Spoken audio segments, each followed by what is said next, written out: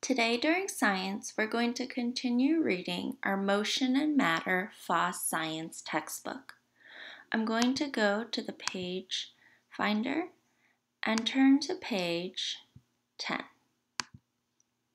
Today we're going to talk about change in motion. So you'll notice in this picture how the two girls are pulling the wagon with pumpkins in it. What if they wanted to push the wagon with pumpkins in it? Let's listen. Change of motion. A wagon is a useful tool for moving a heavy load around. You might give your sister or brother a ride on the sidewalk. Or suppose you had a wagon sitting motionless with a load of pumpkins in it. To move the pumpkins, you will need to put the wagon into motion. How can you do that? You have two options. You can get behind the wagon and push, or you can grab the handle in front and pull. The wagon will not move by itself. So remember, nothing moves by themselves. You have to give it force. The wagon will move only if a force acts on it. Pushes and pulls are forces. Forces make things move. So when you push on a wagon, that's a type of force. When you pull on a wagon, that's also a type of force. So if we look at this diagram above, in this left diagram, the pushes and pulls are forces, right? Forces make things move. So the girl is pushing on the wagon, which makes the wagon move forward. In the right diagram, the girl is pulling on the wagon to the right. That's what makes the wagon move forward. Let's keep listening. If you use a force to get the wagon moving, it will keep rolling. But you don't want the moving wagon to crash into something. How can you stop it? It takes force to change the motion of a moving object. Again, you can do one of two things. Look at the pictures below. You can get in front of the wagon and push to slow or stop its motion. A. Or you can get behind the wagon, grab it, and pull to slow its motion. B. To make a moving object stop, you need to push or pull in the opposite direction of the motion. To change the motion of an object, a force is needed.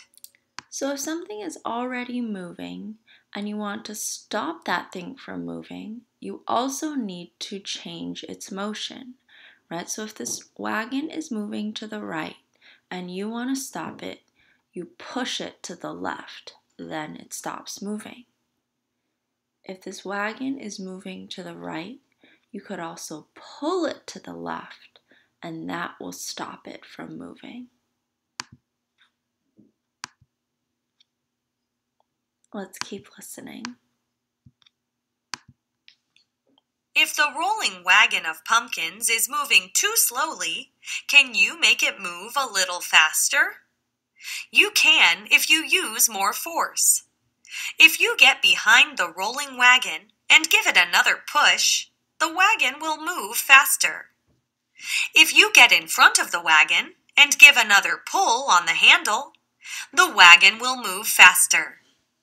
A push or pull in the direction of the motion will make the wagon move faster. To change the motion of an object, a force is needed.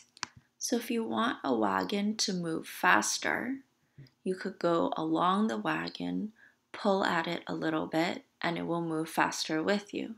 You could also get behind it, give it a little push, and it will move faster too that force needs to go in the same direction as the direction the thing is already moving. If the wagon starts moving too fast, use a push or a pull to slow it down. A force can cause a moving object to change its speed. If the wagon starts to turn to one side, how can you get it rolling straight again? Use a force. But this time, you need a push or pull to the side of the wagon to change its direction of motion.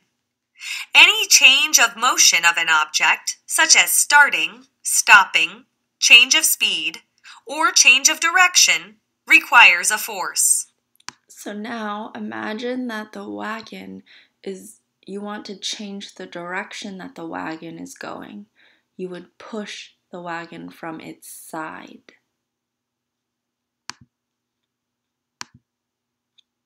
Now let's talk about gravity. Gravity. Think about a ball in one spot on a table. A gentle push on the ball will put it into motion. The ball will roll across the table. What will happen when the ball comes to the edge of the table? The ball will roll off the edge and fall to the ground. The ball's motion changes when it rolls off the edge of the table. It moves in a different direction and starts to move faster. So you can try, try this at home, right? Get a ball and put it on the table that you're sitting at. Give the ball a little push. First, it will roll across the table. Then, gravity will pull it down to the ground as it reaches the edge of the table Gravity is a force. It pulls the ball down. What causes this change of motion? That's right, force. What force makes the ball move toward the ground? The force that makes the ball fall to the ground is gravity. Gravity is a pulling force between two objects, and it draws them toward each other. As objects get bigger, the force of gravity between them gets stronger. Earth is a huge object, so it pulls strongly on all other objects. It is the force of gravity that pulls objects toward Earth's center. So we are all being affected by gravity all the, all the time. That's a force that's pulling us down so that we don't float away into space. But why doesn't the ball on the table move before you give it a push?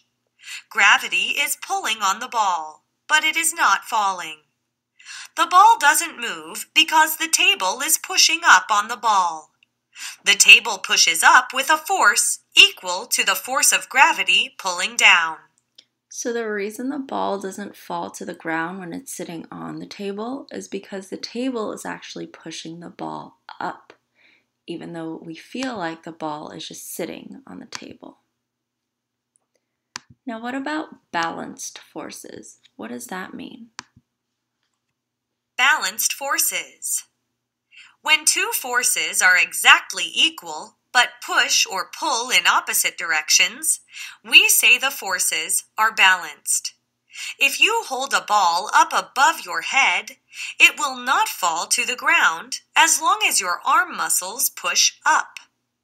Your muscles must push up with a force that is exactly equal and opposite to the force pulling the ball downward. After a short time, your arm muscles will tire. Your arm will no longer push up with a force equal to the force of gravity pulling the ball down. So the reason this ball right here that the girl is holding is not moving is because gravity is pulling it down, yes. But the arm, her arm, is pushing the ball up. When her arm gets tired, gravity wins and the ball will come down. But gravity never tires. Gravity always pulls down. Soon, the forces keeping the ball in a position above the ground will no longer be balanced.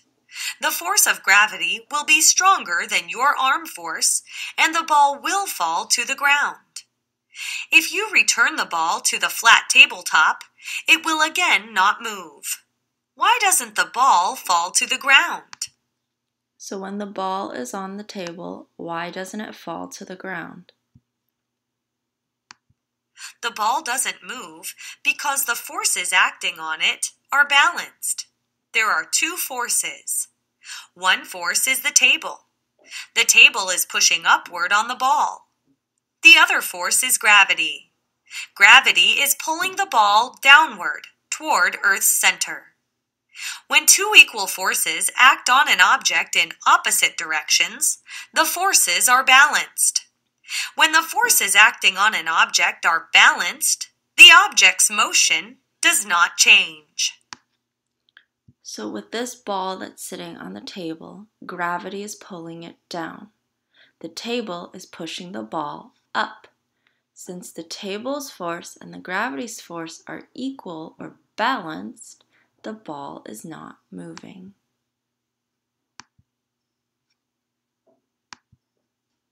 So what happens when the forces are no longer balanced?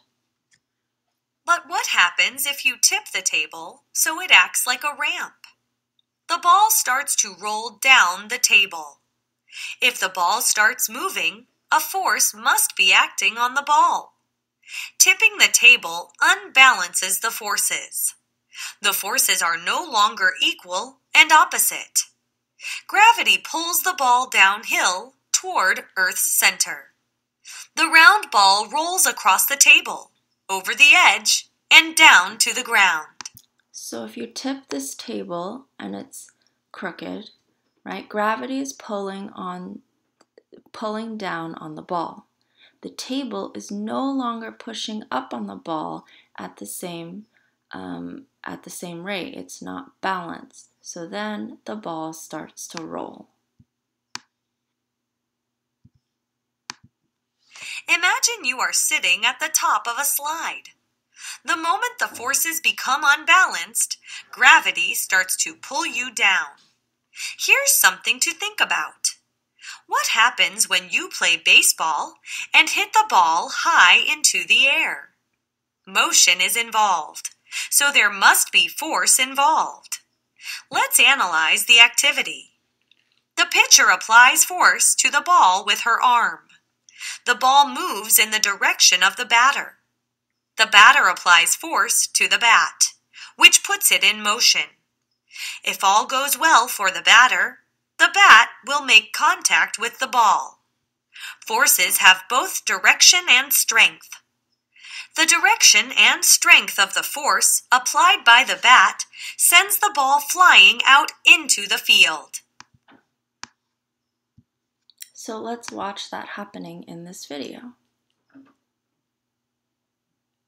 The ball comes toward the batter. The batter uses the bat to hit the ball. That's the force. So the force that the pitcher used to throw it and the pit and the force that the batter used to hit it both affect the ball. Can you think of other instances when forces of different sizes and direction are applied to an object? Think about soccer and bowling. For your assignment in Seesaw today, take a ball or something at your house and try moving it. You can make a video of yourself applying force on that object.